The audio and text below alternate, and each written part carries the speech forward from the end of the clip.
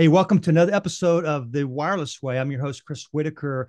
And as always, I'm grateful that you're here and I'm grateful for my guest, Matt McNamara. I ran into Matt, shocker here. I ran into him, I found him on uh, LinkedIn, and then I discovered he had a YouTube channel on one of my most favorite topics, MDM. And again, I did a survey recently and found about half of you not even sure what that means mobile device management. And, and to be a little more specific, he is with IBM and he sells MaaS360 on a daily basis. That's his uh, his purpose in life, uh, at least Monday through Friday. So, Matt, welcome to the show. How you doing? Glad you could be Thanks here. Thanks for having me.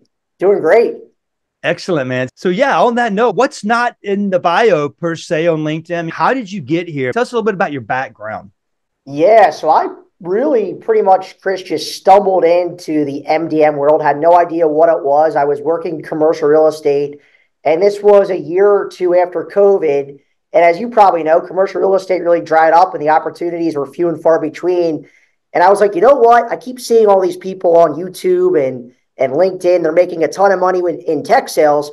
I got to find a way to get into tech sales. So I did, a, did some research. I stumbled on an opportunity at IBM. I hit apply. I thought I was never going to hear from a recruiter or a hiring manager whatsoever. Within two weeks, I was hired to join the MaaS360 team that sits in Philadelphia. I've been here for three years, so our office is in Philly.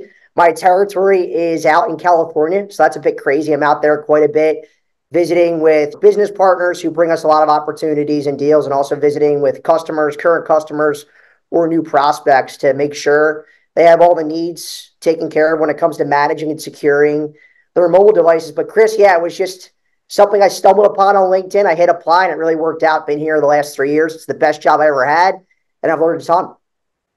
What was the learning gap like? How, how long did it take you from being a new hire to where yeah. you could do a call by yourself? How, how long did it take you to get your arms around it? I would say it took between six to nine months. So yeah. I am not full transparency. I am not technical whatsoever. I don't have a technical background. I could plug my phone into the wall and that's about it.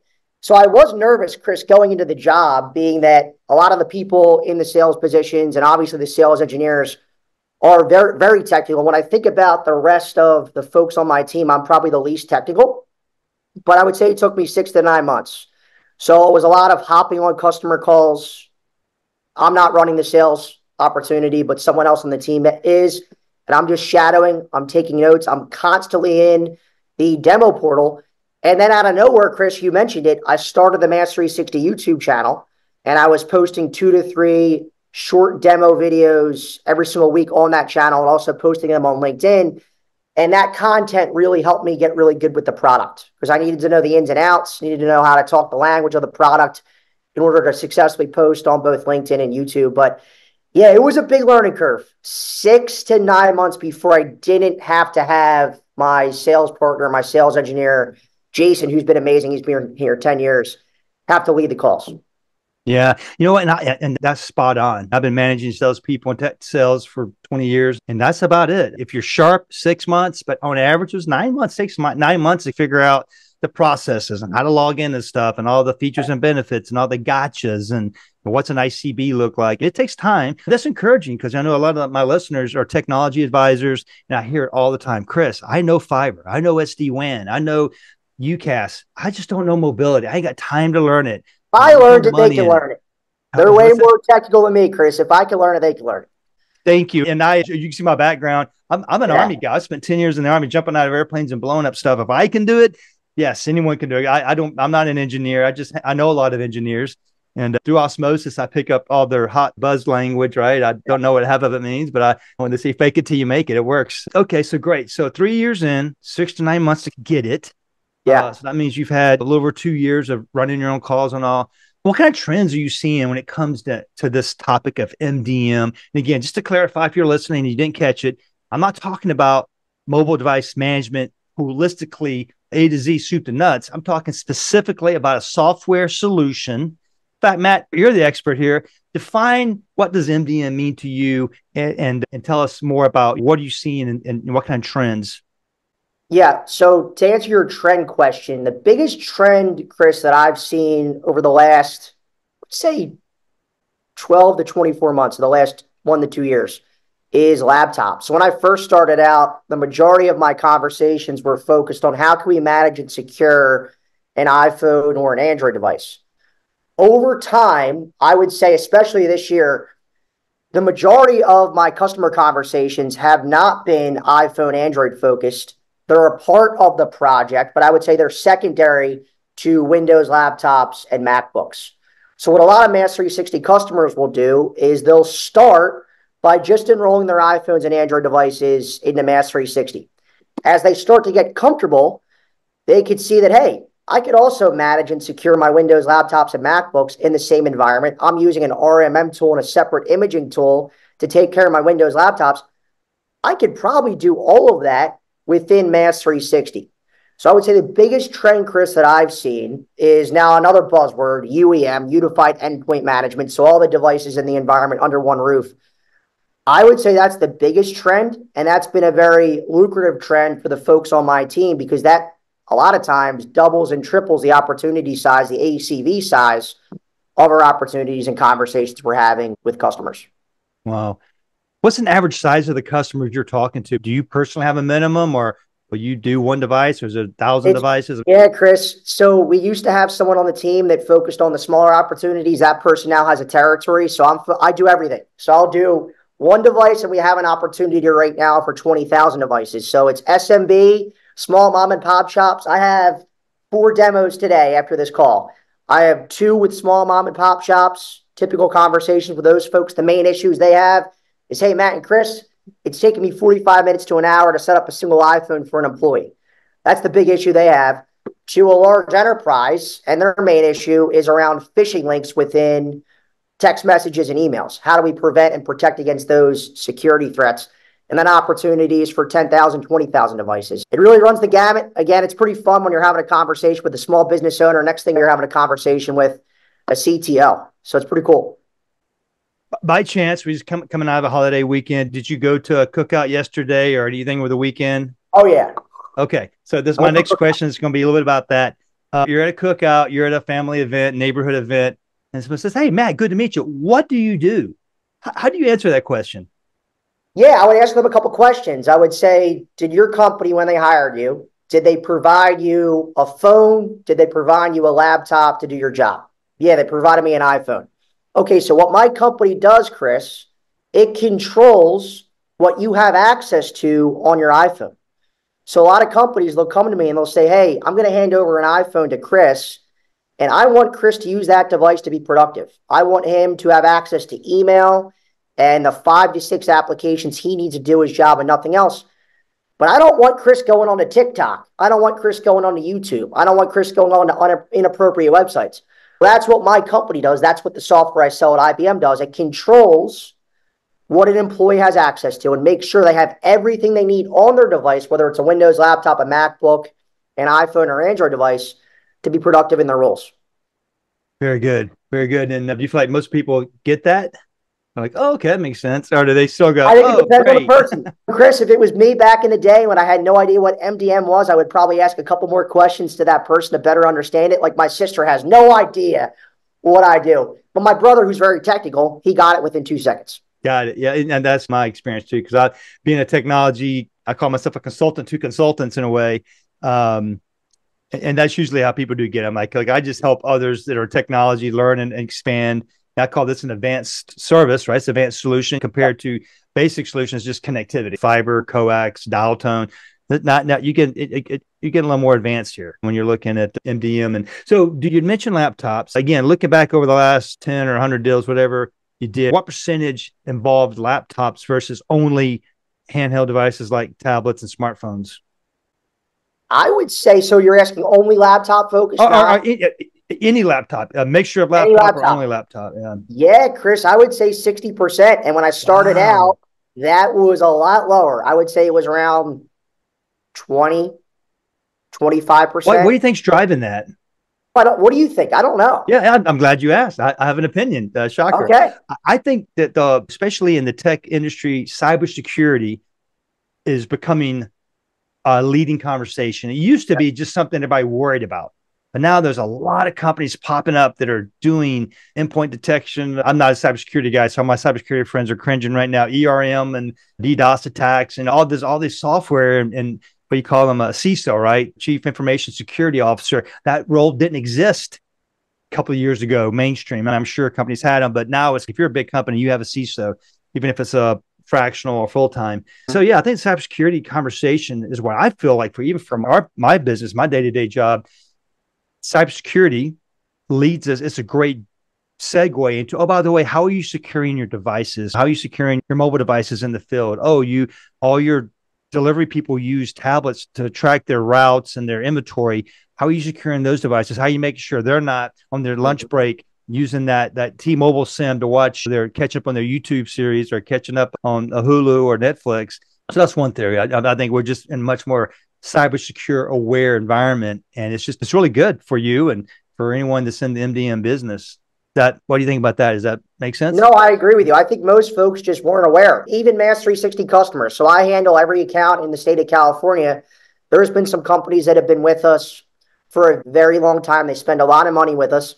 And the first time i have a conversation i'll ask hey what does it look like to get a windows laptop set up? Walk me through that process. And they're asking why are you asking about windows laptops we could also manage and secure those. They just don't know. So mm. we're trying to get it out there, get the message out there that every MDM, every UEM can manage and secure Windows laptops and MacBooks right next to your iPhones and your Androids. Yeah. What's IBM's position? Is there a preferred acronym to describe the product? Is it, I mean, because I have seen UEM popping up more and more lately because it's more inclusive of everything. What's the the company line? Are you guys an MDM? I say MDM. I say MDM. I ha- I've been here three years. I have not said UEM. I probably said it a couple of times if if a, if a customer asked me, but I just say MDM. That's right. Yeah, yeah. I think yeah. that that seems still that still seems to be more common place in that mobility uh, ecosystem. Let's pivot a little bit. Still same topic, but different yeah. part of it. I'd like to spend a little time talking about BYOD and bring hmm. your own device. Um, I've worked at companies that have given me phones. I have worked at companies that say, hey, use your own phone and you're on your own. Yep. Meanwhile, I'm logging into OneDrive, I'm logging into Salesforce.com, I'm logging into Outlook, I'm storing company data on my personal phone. Sometimes you get a stipend, sometimes you don't. What are you seeing in terms of BYOD and why would someone call you and do business with you in MaaS360 in a BYOD exclusive BYOD environment? Yeah. So, good question, Chris. I would say right before I joined IBM, I was working in commercial real estate, as I said, and I was using this phone, my personal device, for work. That company did not have an MDM in place sitting on top of my BYOD device to protect my corporate data. When I left the organization, that company, like any company, can cut off the connection to my email and my application. So I can I'm no longer receiving any emails going forward to my personal device. However, Chris, if I wanted to, I could go into my old Outlook app and gain access to any email that was sent prior to that connection getting dropped. That's the biggest issue I see with folks who use a B or leverage a BYOD environment who don't have an MDM in place. They have no idea, no way to protect corporate data and wipe that corporate data in the event an, an employee moves on to a different organization or they're terminated. So I would say that is probably the biggest issue I see across the board. Folks come to us and they say, hey, I have no way to protect the corporate data if an employee is terminated. How do you do that within MaaS360? We could selective wipe that device. It's only going to wipe off the work side or the work profile on that device. It's not going to touch the, touch the personal side of the phone. So I would say, Chris, that's definitely the biggest issue I've seen across the board. What about you when it comes to BYODs. Yeah, interesting story. I, and I love that story. And that's actually not one that I thought much about. And, but you're exactly right. My last, uh, my last hoorah when I left. Yeah. I, in fact, I got to admit, for a month, I was really, I found it really hard to just delete that Outlook account because I, I, back in my head, I might still need those contacts. I might need to get a hold of somebody, whatever. Finally, I said, I'm just so busy. I don't need it. It's, it's a distraction because it keeps asking you to log in because your device is going, Hey, password's not working. I don't know what's going on here. So anyway, I, I was on a call a, a month or so ago, maybe two months now, with a large equipment rental company, mm-hmm. hundreds of locations across the country.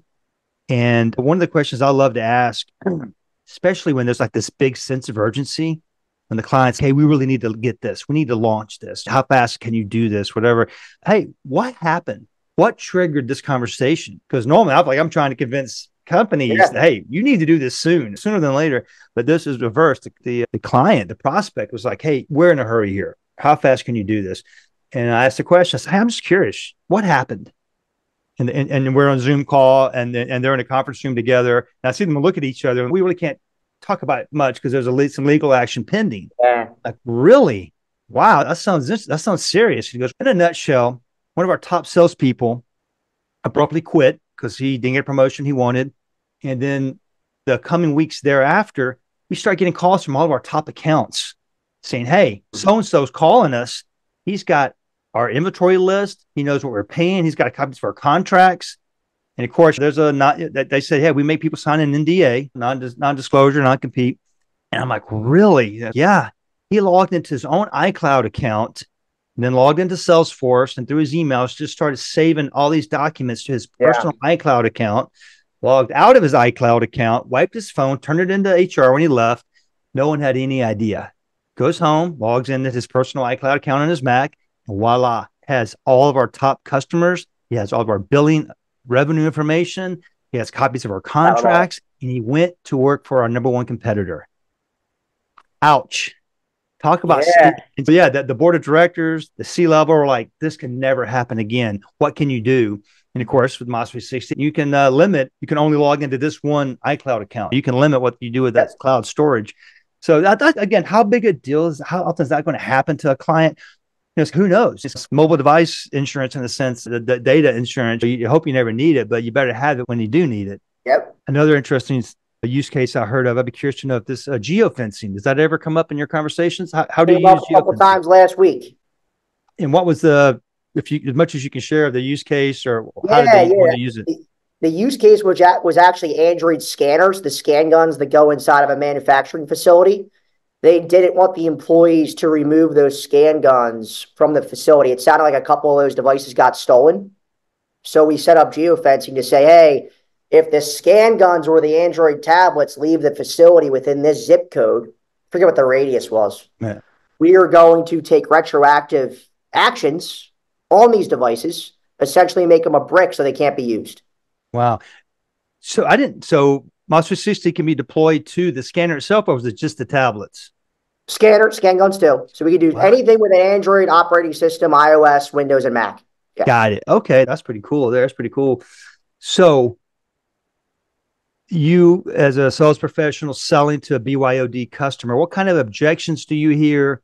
And the ones that you win, what do those deals look like? Why again, what I'm hoping to do is for the listeners if, if you're listening and your client has BYOD and you're going, gosh, should I call IBM uh, MaaS360 rep and figure out how to, if, if, this is an opportunity, what does that opportunity look like? Where, where are people winning deals with BYOD and MaaS360? So your to your first question, what was your first question, Chris? I'm not even sure. I was rambling on there. it was no, Chris. It was a good. It was a good question. It was around. Yeah, when you're talking to BYOD customers, that's uh, right. The objections. What what's what's the use case? What's what is making someone go, hey, look, yeah, I got a thousand BYOD users. I need you for this. Is it, why are they buying? They're buying for that story that you just said, mm-hmm. and the story where an employee leaves, and we need to make sure the corporate data is protected on that device going forward. They no longer should have access to that corporate data.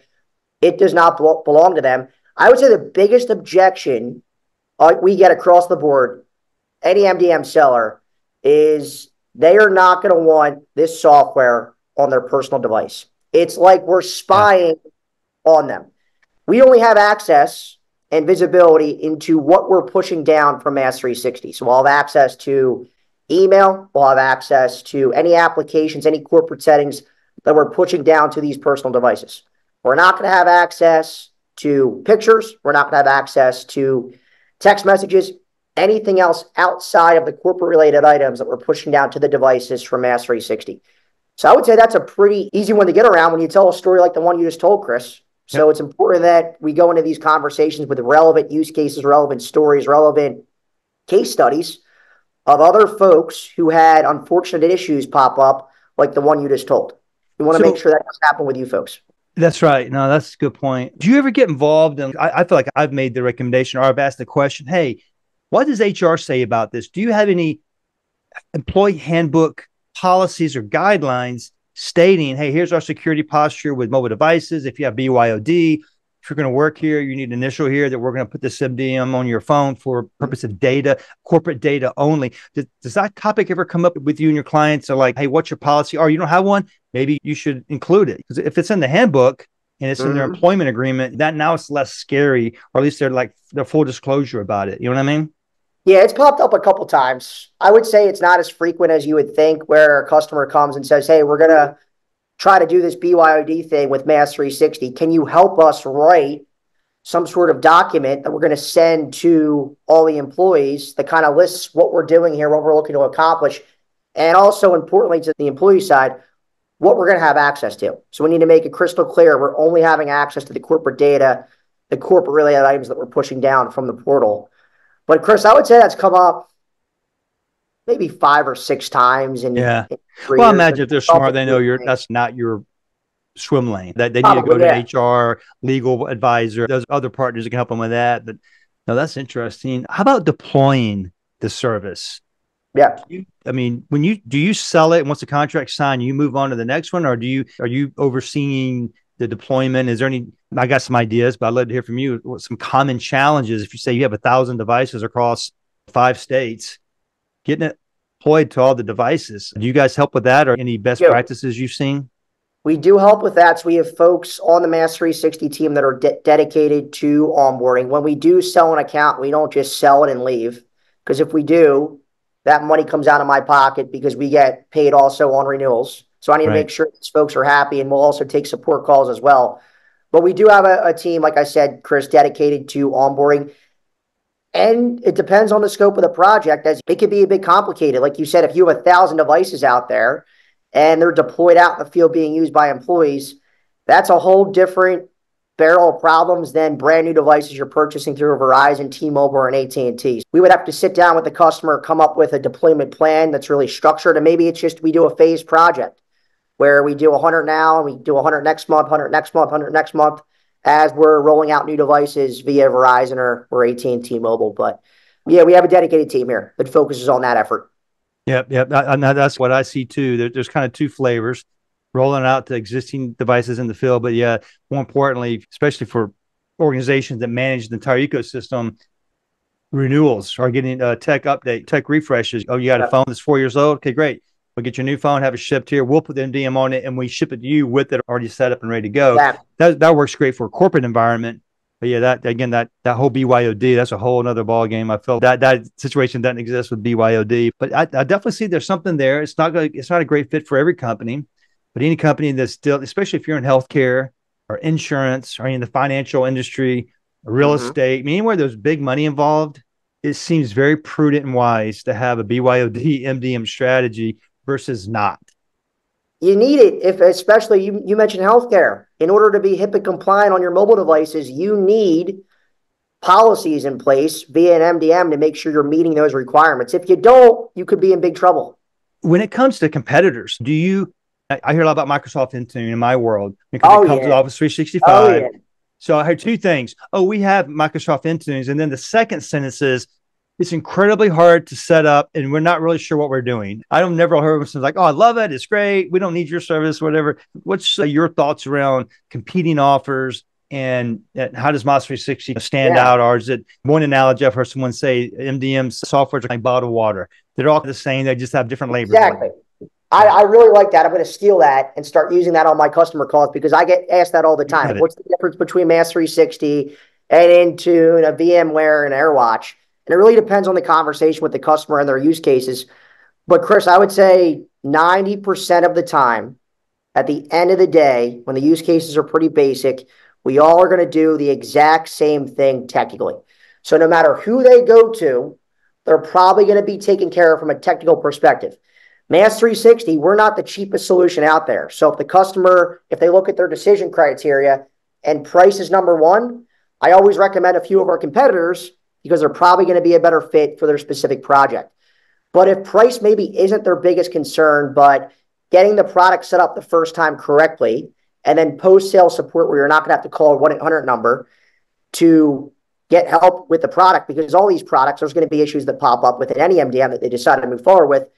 Then a MaaS360 might be a better fit. But that's right. I always tell people you give what you pay for, right? The same. Exactly. Yeah. Yep. I love it. Okay. So, Matt, we've talked about a lot of things here. I talked about BYOD, why someone would buy it, some trends and use cases. Any interesting other anecdotal stories? Anything else you can share with us to help drive this point home that MaaS360 is a great solution and every company with devices should be looking at it. What say you? Yeah, good question. One that comes to mind, Chris, is the first time I met my girlfriend. So my current girlfriend, I've been with her a little over a year. Doesn't have to do with the dating app, does it? It was dating app. I met her on Hinge. okay, so we met on Hinge, as everyone meets these days. Yeah, yeah. I met on Hinge, and I met her at a bar in Philadelphia, a couple blocks from my office. After the date, I get home. I'm living with my parents at the time. I get home. My mom is like asking me all these questions, how the date go, and I get a text from my girlfriend's name is Amanda. I get a text from Amanda and it said, Hey, Matt, you didn't happen to pick up one of my iPhones by chance, did you? And I said, No, I didn't pick up one of your iPhones. So she has two devices. She mm-hmm. has her corporate issued iPhone and her personal iPhone. The device that was missing was her corporate issued iOS device. I didn't have it. We checked the bar. The bar we were at didn't have it. She eventually did find my iPhone and saw that her corporate issued iOS device was all the way across the city. So somebody at the bar picked it up and stole it. Her company, unfortunately, didn't have an MDM in place to protect the corporate data in the event an iPhone, an Android device, a Windows laptop is lost or stolen. So going forward, I know she no longer works for this organization. She moved on to a different organization. But I was telling her, hey, Amanda, this is what I do. We can help manage and secure those devices in the event a device is lost or stolen. We can protect the corporate data. We can make sure those devices are set up quickly so no one on the IT team has to manually set up and configure those devices again.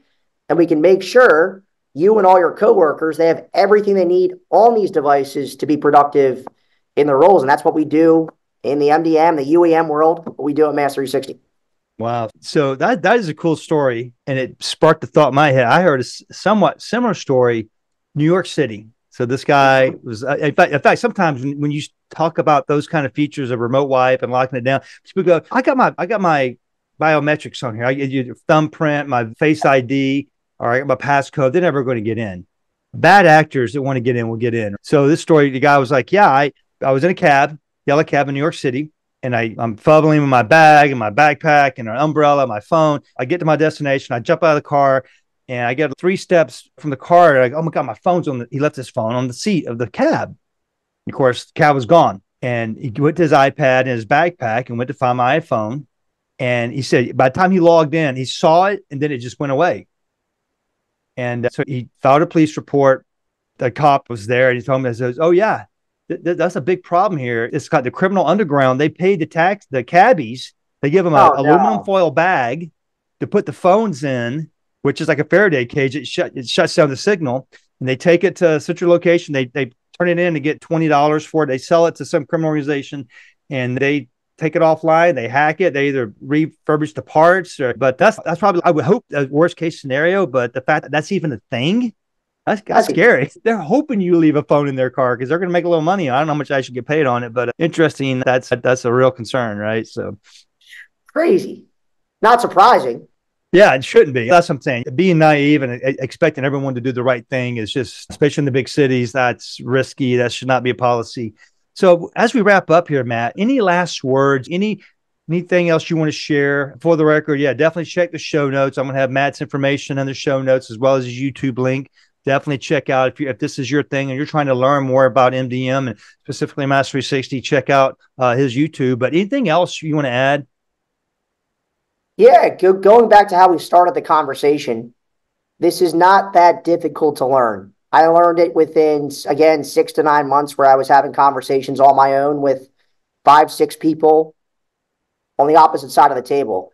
So as the use cases are very similar, the same problems pop up. If anyone has any questions about some questions you should be asking your clients to uncover a MaaS360 or an MDM UEM conversation, let me know. I have lots of videos on that topic as well on the YouTube channel. But Chris, firstly, thank you for your service. I know we're day after Memorial Day weekend.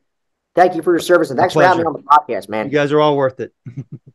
and I'm glad you agreed to it, man. Because like I said, I, I, saw your videos. Oh man, this guy, we're, we're, cut from the same cloth, just different parts of the country and maybe a different yeah. generation, but but we're in the same mission. We, we were talking pre-show that it takes someone to grease the skids, grease the gears, have these conversations, share knowledge, share experiences, because that's how we all learn, especially if you're a technology advisor. I, tell, I remind people, especially people have been doing as long as I have. We, we were selling T1s back in the day, and PRIs and things. Technology don't even exist hardly anymore. And I remind them, hey, remember when we transitioned to fiber? Remember, we mm. went from analog phone lines to voice over IP. Every new technology has that that, that learning curve where you're uncomfortable with it because you're like, I don't want to ask a question that I don't know what the answer is. You know, but yeah, the more you do it, the more you research. Because I imagine that six to nine months. I wanted to say because I'm, I'm, thinking if I'm a if I'm a technology advisor listening right now.